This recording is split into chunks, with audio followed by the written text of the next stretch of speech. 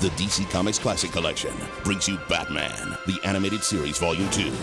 When the sun goes down in Gotham City and criminal masterminds rule the streets, Bye bye, Bat. have no fear. For the Dark Knight is watching. Time to kick some butt.